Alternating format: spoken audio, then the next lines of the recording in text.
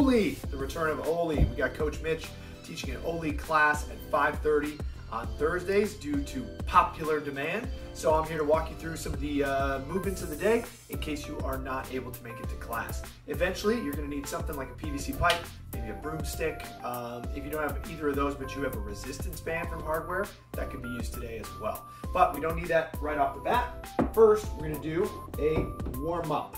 So our warm up today is going to be three rounds of 20 hip flosses, which I'll show you in a moment, 10 glute bridges, and then 10 doorway rows. The doorway row is goofy, and I'm pretty sure Mitch made it up. So I'll let him explain that to you in a moment.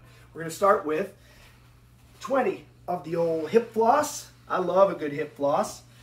The idea here is we're just gonna try to get the, the hip sockets opened up, ready to go. So we're gonna kind of set you up something like this, depending on your flexibility, and you're just gonna let it fall to one side, to the other side, that would be two, three, four. If you can, we're trying to touch that knee to the ground here and just sort of windshield wipe your way to 20. After that, you'll stay on the ground and hips up, squeeze your glutes. One, two, three, all the way to 10 reps. And then you'll do 10 doorway rows for three rounds. So with that, I'll throw you over to Mitch and Mitch can explain the doorway row. Um, so you're gonna go on the lower end of the doorway frame. You're leaning back and feet are inside and rowing like so.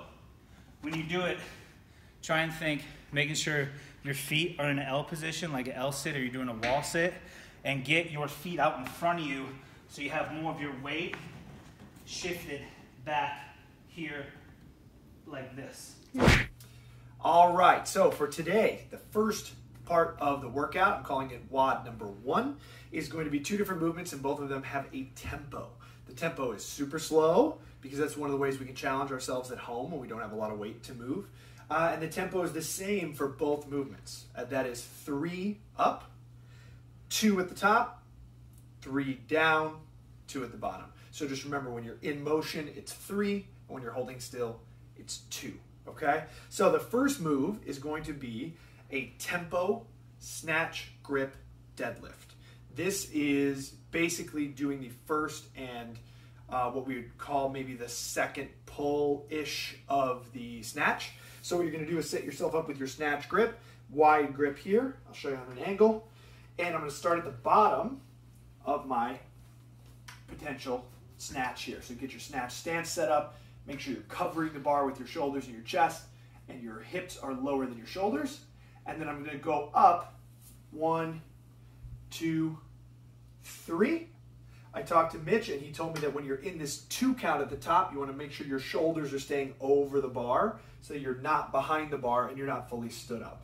So one, two, three, hold at the top, one, two, and then three, two, one. Hold at the bottom, one, two, one, two, three. Hold at the top for two, one, two, three.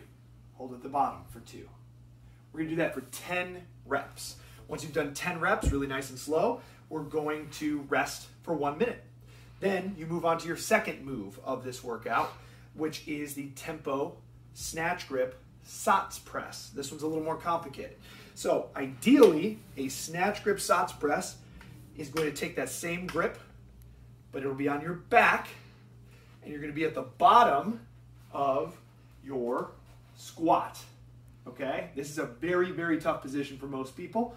So holding here, this is the bottom of your rep, and we're to go up. One, two, three. Squeeze. One, two, three, two, one. Squeeze. One, two, one, two, three.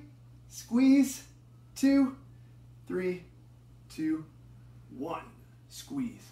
Two. Okay, again, that is a really, really tough thing for most people to do. So the scale is going to be able to do it standing, but we're going to add an overhead squat in there just so we get a little bit of squatting. So you're gonna keep the same tempo, and right in the middle, we're gonna add an overhead squat. So standing, I'm gonna go one, two, three, one, two, one overhead squat, three, two, one. Squeeze for two. One, two, three, one, two. Add the overhead squat. Three, two, one, one, two at the bottom. Okay? So you do that, you rest 60 seconds until you've done five sets of 10 and 10. Five sets of 10 and 10, resting one minute in between. That is workout number one for the day. All right, so now we're getting into our circuit at the end of class, which is three rounds. You're gonna do move A, rest 60 seconds. Move B, rest 60 seconds. Move C, rest 60 seconds. That's one round. You do three rounds of that. So our movements today are going to be eight of a tempo press. Now the RX for today would be a tempo strict handstand push-up for sets of eight. Clearly, that was written by a madman. So for everyone else, all we're really looking to do is bring the height of your hands up for a push-up in some way so that you can get an extra deep push-up going on. So sometimes when we land on the floor, it can be a little bit short. So that's why people use parallettes. Obviously not everybody has parallettes. If you have a pair of dumbbell handles, that'll help you go extra deep. Or what you do, oh, what you can do is take your something like this, and all this is going to do, you might think like, okay, this is going to raise your upper body up, so that makes it an easier push-up. But again, what we're really looking for is to get extra deep through the bottom of the push-up. The tempo here is going to be two down, two up, with no rest at either position. So you need to be in constant motion. So that would be one, two, one, two, one, two, one, two, one, two, one, two for eight reps. If you can do that at a strict handstand push-up, one, two, one, two, good for you. Otherwise, you can do this with any kind of press, okay? Then you're gonna rest 60 seconds. Then we're gonna do the mysterious back widows, which I'm positive Mitch made up. So again, I'm gonna throw you to him in a moment. All right, these are back widows. So you lay flat. Your feet can be on the floor like this. I like to do it like this because I get better balance and better stability.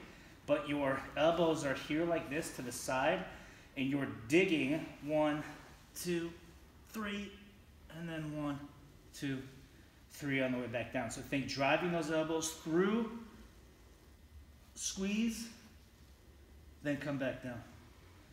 Driving through, squeezing at the top, coming back down. I lied. Keep your legs uh, flat. Don't have them bent.